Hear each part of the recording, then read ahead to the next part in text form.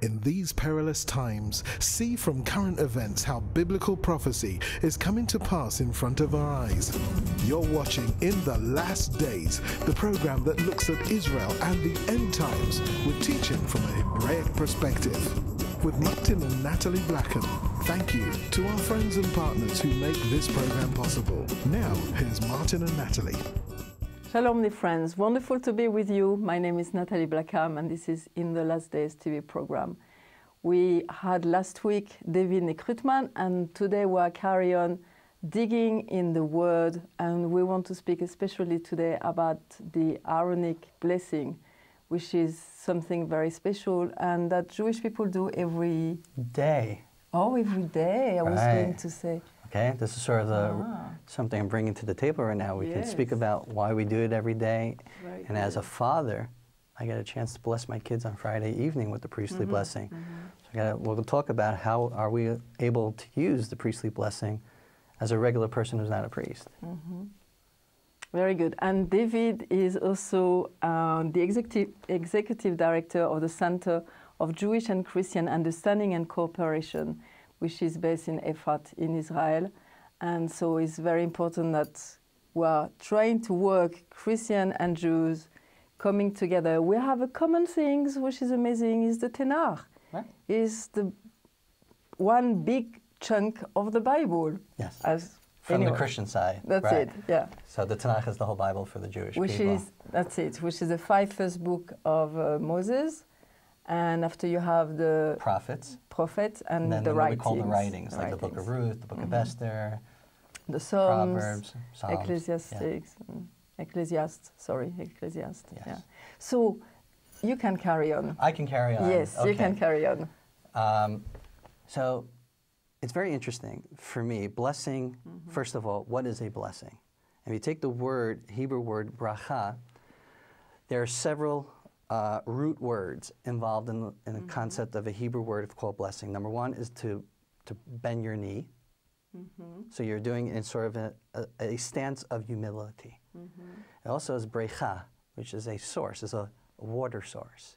So when you're doing a blessing in a concept in a Jewish thought is you're connecting to the ultimate source of all blessing, and that's God. Okay, so when we're doing the blessing, it's not me who's doing it. right? I don't have any magical powers to help you get healed. At the end of the day, it's really God, as I am a conduit to give blessing. I am connecting to the ultimate source. So that's the concept of, of a bracha, of a blessing. The priestly blessing is a very interesting blessing because it's one of the oldest blessings in the Mm-hmm. Which was- Bible, that's it which was given which was given. Go ahead. by moses No, actually, by God.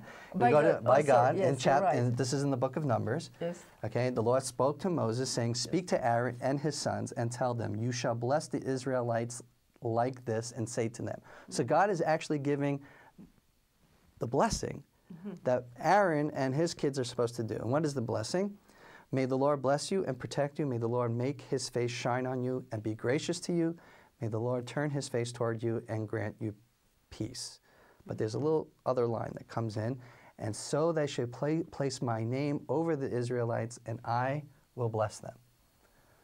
Now the question is, what does it mean I will bless part- them? is that part of the blessing Well, the question is, who, who's blessing who mm-hmm. at the end? Is it God blessing the priest, mm-hmm. or is that God is blessing the people? Mm-hmm. Because we just, right, this is a typical Jewish question on, on scriptures like, I will bless them. What does that mean? Who's them, mm-hmm. right? Mm-hmm. So there are two ways of looking at that.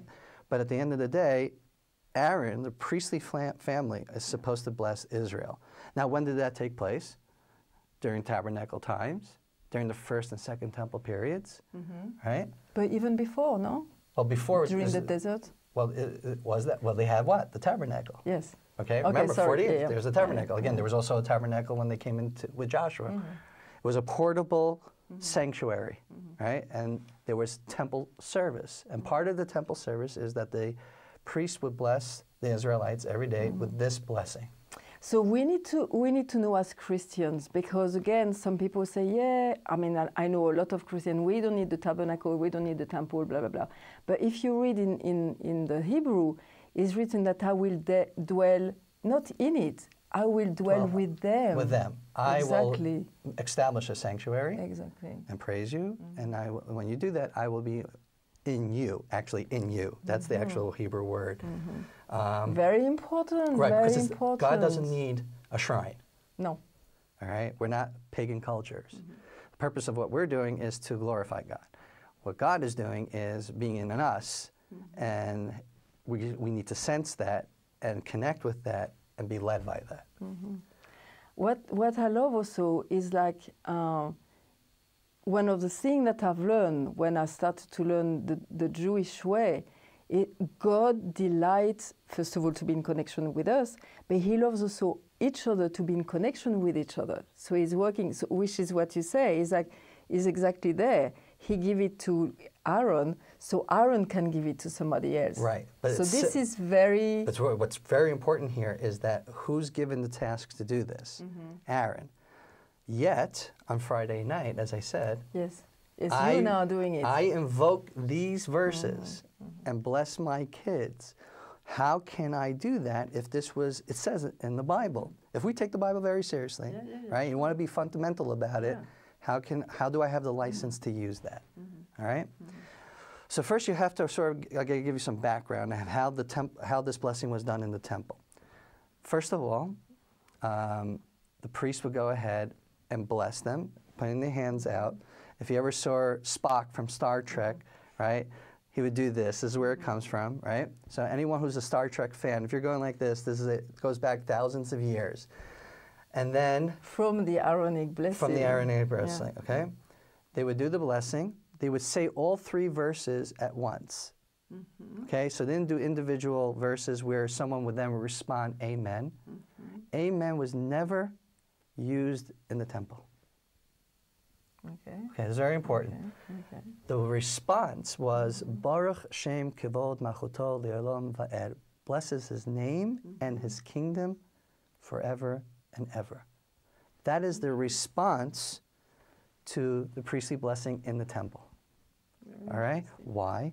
Amen, in essence, is taking a blessing and making it personal. Mm-hmm. That's what amen does. If mm-hmm. you, I know Mm-hmm. In English means like, I translations, agree. I is usually so be it or I Yeah. agree. So mm-hmm. that means the function of amen is that I am taking what this person is doing and personalizing it. Mm. But what's the purpose of the of the uh, priestly blessing? Is a blessing for the entire nation. So I can't say amen because then I'm personalizing a communal blessing. Which is again very important. Again, in the Jewish way, you are not just one individual; you are part. Exactly. Of, yeah, We are part of a Yeah, whole. yeah, The unity of us a people. are the people, right? We are not we, we are not supposed to go ahead and personalize that, even in our prayers. I always say, if you want to understand the Jewish people, mm-hmm. you have to understand what they pray. Lex orandi, lex credendi. What we pray is what we believe. And if you pay attention to our prayers, it's always in the plural. Mm-hmm. Hardly do we ever pray as an individual. Please do this for me. Please do this for me. Mm-hmm. I need heal. No, no, it's heal us. It's heal everybody. And I'm part of the community. But still, you have, still you have a personal relationship with God. Of course. Yeah. But we need to know because a lot of Christians think that the Jewish people don't have a personal relationship with God, which is totally It's not true. is ignorance. Right, it's not true. Yeah. But the thing is, is that uh, as you have something called the unity of the church, we have something called the unity of the synagogue. Mm-hmm. We are one body, mm-hmm. something that affects some other Jew in the world. And this you can see even practically today, that if something happens, anti-Semitism is rising, right? Mm-hmm. So what do we do? We thank God we have a Jewish agency. They come in, they rescue the Jews there, and they bring them to Israel. I Thank mean, God we can we can see it when we come here. When I, uh, for the first time, when I went to the uh, Day of Independence and all the parties during the night in Jerusalem, it was like, my gosh, it's like one people. It's not just a nation. It's not just a nation. It's one people. And I saw it on the street. It's like everybody is connected with each other, even if they keep their individuality. Right, but if that means he's hurting, I have to hurt as well. yeah. There's a famous thing, the famous joke of a of a rabbi and his wife, the Rebbitzin, walk into a doctor's office, but the, re, the his wife is going through something that's really, really bad. Mm-hmm. He says to the doctor, "Can you please help us and cure us?" Mm-hmm. He says, "Who? You're both in, in, in pain? No, no, my wife is, but I, we need to please cure us. This is lovely. Right. So this is the same concept that we do in Judaism is that every Jew is very important in the body of the synagogue and something's happening to them that's awful, we have to take means and measures to do that. But if, mm-hmm. if they're mm-hmm. also uplifting the community, we benefit from that. Mm-hmm. Someone is doing amazing stuff. Which is so true. Like, even spiritually, I mean, like, in the reality, we can't live just by ourselves. And I think, okay, this is interesting also. I, I like to think. And you see, the Catholic the community is very important, and the Protestant, the individual, is very important. But we need both. Yes, we are very important and you are unique, but you are part of a community. And these two things needs to be coming together. Because I live in a Catholic country and I can see that, and I- we live in a Protestant. So there is a good part and bad part in, in, in the thing, but we need both. Right. I would even go further. I, a lot of people say, what's Jewish about Jewish prayer? Mm-hmm. And, the, and the concept of what the unifying uh, anchor of Jewish mm-hmm. prayer that makes it Jewish mm-hmm. is our liturgy. I can walk into any synagogue and I will have the same template of liturgy no, matter, no matter where I go. That's what makes it Jewish. In addition to that, we But also have the Torah I- portion of the week That's it. right? The Torah portion of the week, which is we divide up the five books of Moses into weekly portions. We finish from Genesis to the end of Deuteronomy, and at the end of the Feast of Tabernacle, a holiday called the Shmini Atzeret, the eighth day, which is also called Simchat Torah, which is a celebration of the Torah, meaning that we finished the annual cycle of the five books of Moses. I can walk into any synagogue and You know that they are going I know read- they're going to be yeah. reading that Torah mm-hmm. portion. So the unifying anchor of the Jewish people is its prayer in the mm-hmm. synagogue and its its corporate liturgy mm-hmm. and ritual. But I want to say also, because I know how Christians think, oh, but you know, the prayers is just prayer. No, no, no, no. It's taken from Psalms and, and different passage. So it's like you, you've done like, We copy and paste. yeah, Di- exact- right? If we're taking our terms yeah. today, if I had a Microsoft Word and I'm building up a, a, a prayer, I take a, a verse from Isaiah and a verse from Jeremiah and two verses from Psalms. They have the same themes. We bring it together as a devotion.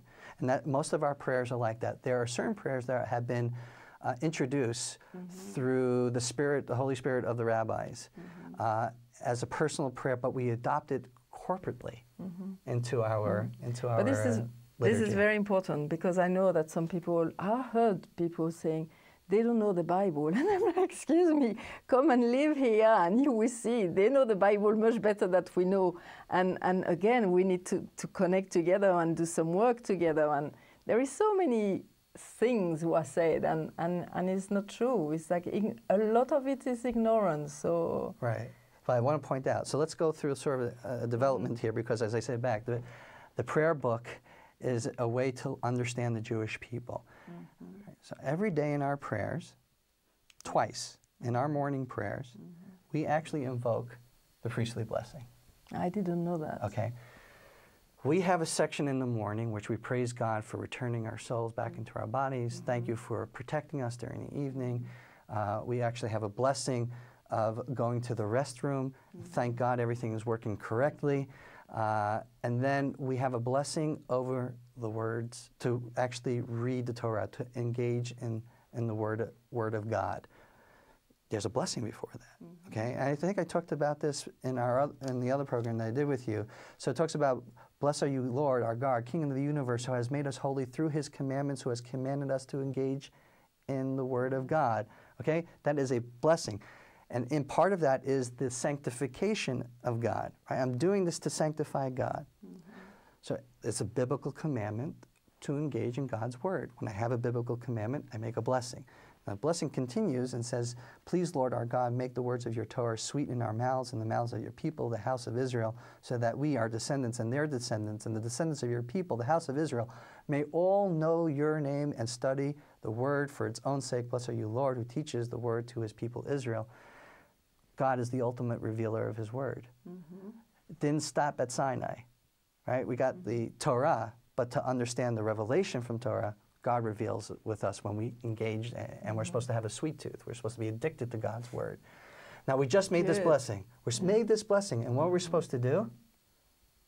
Supposed to engage in the word of the Torah. Mm-hmm. All right? So, right after, there's a, a third blessing Blessed are you, Lord, our God, King of the universe, who has chosen us from all the peoples and given his Torah. Blessed are you, Lord, giver of the Torah. Mm-hmm. And we read the priestly blessing. Mm-hmm. It is the passage from the five books of Moses that we read. It's very interesting that you would invoke, you could pick any, any biblical passage in the Bible, and I could have fulfilled my biblical mandate of engaging in the word of Torah, yet we, we use the priestly blessing. In addition to that, we also take uh, something from the Talmud, it's something called the Mishnah, mm-hmm. something called the actual Talmud, which is sort of a explanation mm-hmm. towards the Mishnah plus other things. Here, here's, this is the very interesting. These are the, this comes from the Mishnah Peah. These are the things from which there is no fixed measure. The corner of the field, first fruits, the appearances before the Lord on festivals, mm-hmm. Acts of kindness, and the study of the word. Mm-hmm. Okay, so inherent in this is both the study of the word and the acts of kindness. And then we take another passage that says, These are the things whose fruits we eat in this world, but whose full reward awaits us in the world to come. So already I'm acknowledging that there's a world to come, there's going to be a resurrection inherent in those words. And what are these commandments that we do biblically that I will have the full reward in the world to come? And part of it here, honoring parents, acts of kindness, arriving early and late, and staying late in the house of study. Hospitality to strangers, visiting the sick, helping the needy bride, attending to the dead, devotion and prayer, and bringing peace between neighbors and husband and wife, and of course, the study of Torah. Mm-hmm. So, inherent in studying, engaging in the word of the Torah, I also have to do acts in affirmation of that faith. All right, sounds familiar? Not just in your I head. can't just yeah. read it and not do anything. I have to be executing God's will here on earth. But part of that is engaging in the word of the Torah. But everything's preceded with the Aaronic blessing. Mm. This is amazing. So we invoke that there mm-hmm. in my personal prayers in the mm-hmm. morning when I arrive in synagogue, before we praise God.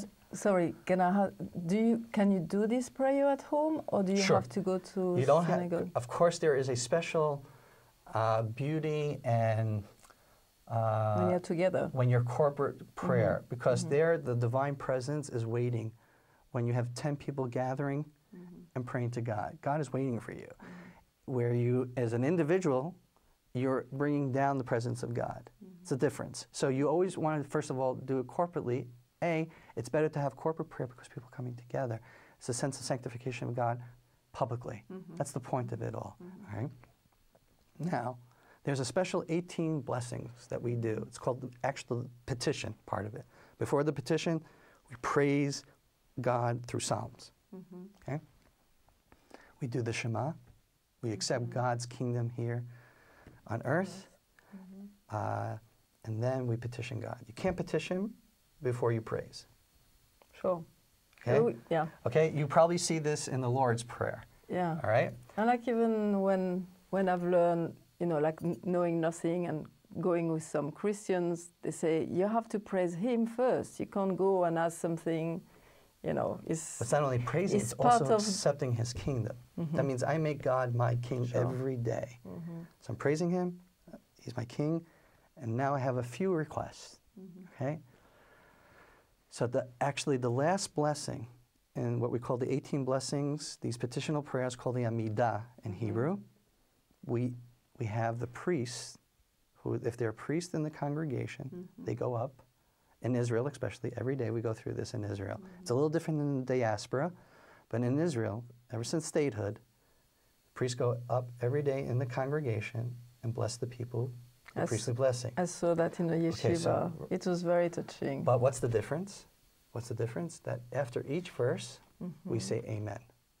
Okay. We don't say Baruch Shem Kavod Malchut blessed be His name and His kingdom forever and ever, because this blessing is for whoever is there. We're supposed to mm-hmm. personally take that in. So we say Amen. So that's the difference. This is the modification of what happened from the temple into the synagogue. Now we know that the synagogue existed during temple period, either whether it be first temple or second temple. But the synagogue lifestyle was that if you were going to pray and we're going to invoke the priestly blessing, it has to be a little bit different than it happens in the temple times because in the temple it's about the entire nation. When it's talking about corporate prayer in the community, it's for them. So that how do we make the differentiation? A, the priests do not say God's name in full. We would say they would say Adonai, but they wouldn't say what we say um, Jehovah. We, they wouldn't say that. So uh, that's another modification Oh, when because the they were saying it only in the temple. you always say it in the temple. Mm-hmm. Okay? So here in the synagogue, we make a few modifications so we can go ahead and bring the pri- priestly blessing Mm-hmm. to the people. Now, my theory is the reason why is, especially during Second Temple period, which you find that the custom has already been developed, is that we Mm-hmm. Because were, they had already an exile, isn't it? we already had an exile, but we never had full Jew- Jewish sovereignty over the land of Israel besides the Maccabean period. We were always under the thumb of a foreign government. It was Darius Okay. who brought us, yeah, in- who okay. allowed the temple, but we were under his government until the Maccabees, till the festival of Hanukkah. In that short period of time, the Maccabean period, that's the Maccabees, person- this rebel. Right, this that's rebel. it. These rebels, right? These Jewish rebels. But at, towards the end of the Second Temple period, we were under Roman Roman occupation, right? So I think there needed to be a partnership. I love, sorry, I'm just thinking about these rebels, the Maccabees. They've done so much, Yes. but they, need, they needed to rebel, to, to rebel against Again, we what were, was out, we going. were outlawed yeah. to read Mm. the Torah publicly. We couldn't keep Jewish law. If we were caught circumcising our kids, No keeping the. Sabbath or reading the Torah, reading the word, God's word, we will be killed. And there- People don't really realize that, I think. Again, it's like Mm. ignore, I mean, a lot of people, we don't know our history. We don't know this uh, part with Hanukkah. I say very often to my kids, and they always laugh, I say, you know, you can't have Chri- Christmas if you don't have Hanukkah. If Hanukkah didn't happen, that's it, finished. Israel was gone. right, you would still be wearing togas. Right? Yes, you're right. so, so thank God we had the Maccabees to come in and bring back uh, biblical faith to Israel. So there were modifications made to the priestly blessing uh, in the synagogue. So you already see that the priestly blessing was able to be brought in on a community level, even though it was designated to the area. How was that done? Because of the modifications that were done to it. So it doesn't look like we're, we are sort of representing the priest in the temple time. Mm-hmm. Now, if you have no priest in the congregation, the leader of the congregation is able to recite these blessings as well. Mm-hmm. He doesn't go and put his hands out. He just recites these blessings, and then there's an amen after mm-hmm. each after each verse. Now, How do they know? Again, a silly question maybe for you, but how do you know that you are from a priestly family? uh, well, first of Did all, really many, yeah, many people can trace their lineage. Mm-hmm. Also, names are very important. Mm-hmm. Katz mm-hmm. is Kohen Tzedek in Hebrew. It's an acronym for Kohen Tzedek. There are other names that are involved in that, but most priests can trace back their lineage, and they know that. Um, in addition, there's a third time we invoke the priestly blessing. Okay. Eh, before- Oh, for Shabbat? Oh, No. no, in the evening? talking about our daily daily mm. life before we go to bed. Mm. We ask for God's protection. Part of that is the priestly blessing. But I want you to understand. So, what is the exegesis of the priestly blessing? So, this is actually in the in the last blessing in the Amida, and it mm-hmm. explains. And this is the liturgy behind it. Mm-hmm. Grant peace, mm-hmm. goodness and blessing, life, grace, loving kindness and compassion. To us and all Israel, your people, bless us, our Father, all as one, with the light of your face. For the light of your face, we, you have given us, Lord our God, the Torah of life and love of kindness. Righteousness, blessing, compassion, life, peace. May it be good in your eyes to bless us and all your people, Israel, at every time and every hour with your peace. Mm-hmm. Okay? So actually, if you pay attention to the last word, peace, it's the last word of the priestly blessing. Mm-hmm. In addition to that, Shalom. right, shalom. Mm-hmm. In addition, you see what? Acts of kindness mm-hmm. and studying God's word. Mm-hmm. Now I understand why the priestly blessing is used as the first biblical passage after I do the blessing of the Torah. Because what's the purpose? To study God's word and to affirm that faith by doing acts of kindness. Mm. Right? And what, what's ultimately about it? It's God's protection, His blessing over us. So we utilize that before we retire to, before we go to sleep.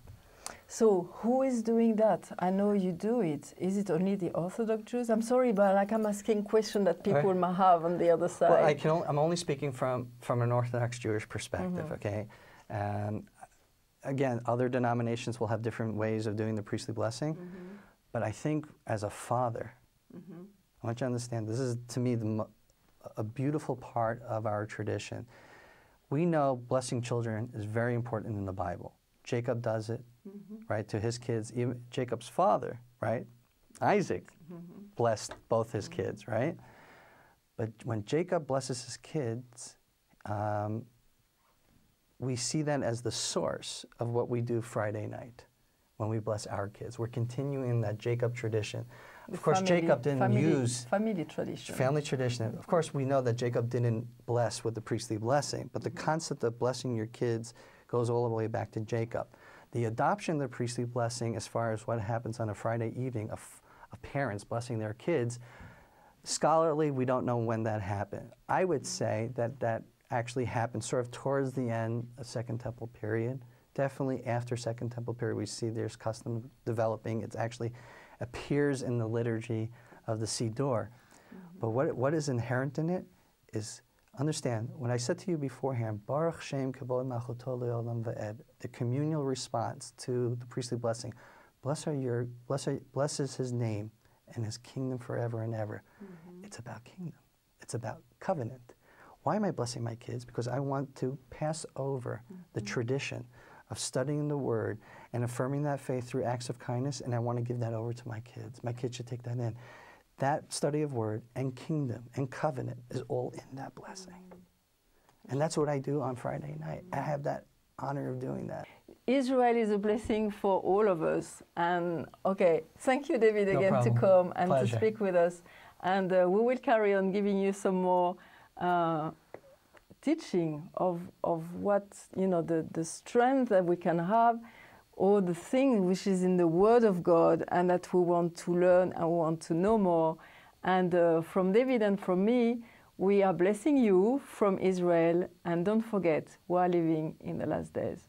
You've been watching In the Last Days, a TV program with Martin and Nathalie Blackham, the program that looks at Israel and the end times with teaching from a Hebraic perspective. If you would like to financially support the program or find out about conferences, meetings, or ministry products, then please contact us with the details on your screen. Visit our easy to use website at www.inthelastdays.com and register for our free e newsletter. Get the latest news from Israel, product information, online video teaching, or watch today's TV program at a time that's convenient to you.